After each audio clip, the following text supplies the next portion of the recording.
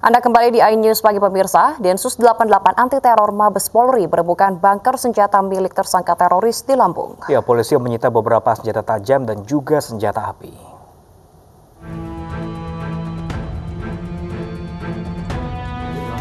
Tim Densus 88 anti teror Mabes Polri menemukan sebuah bunker milik tersangka teroris Taufik Bulaga di Lampung Tengah, Lampung.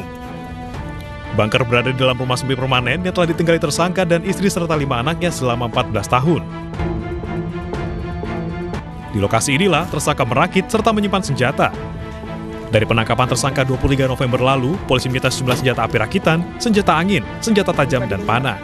Sehingga setiap aktivitas-aktivitas yang dilakukan di dalam bunker tersebut ya sudah kita temukan beberapa waktu yang lalu antara lain adalah senjata rakitan ya, senjata panjang rakitan yang sebanyak di antaranya yang sudah siap itu sudah dibuat karena memang sudah ada pemesannya, kemudian sudah sempat dibuat itu adalah senjata panjang. Ya, jenisnya senjata panjang dan juga diuji coba di dalam bunker tersebut. Taufik Bulaga termasuk dalam 23 tersangka teroris Lampung yang telah dipindah penahanannya ke Makobrimob Kelapa II Depok. Taufik merupakan buronan pertama yang melarikan diri dari Poso tahun 2007 silam hingga akhirnya menetap di Lampung. Dari Badar Lampung, Lampung, Andres Avandi, iNews melaporkan. Pemirsa tersangka teroris Upik Lawangan mengaku membuat senjata karena ingin mendirikan kedaulatan daulah Islamiyah.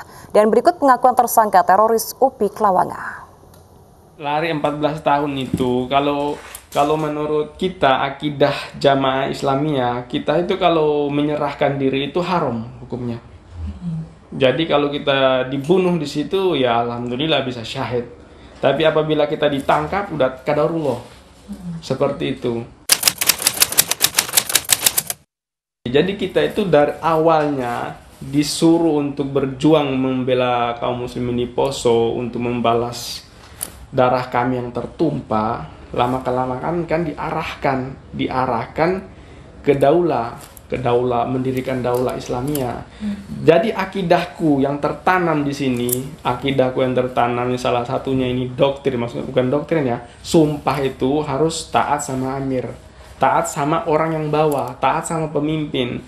Jadi kita kalau membuat suatu senjata yang akan digunakan untuk mendirikan daulah Islamia, ya aku itu berpahala yang banyak. Hmm.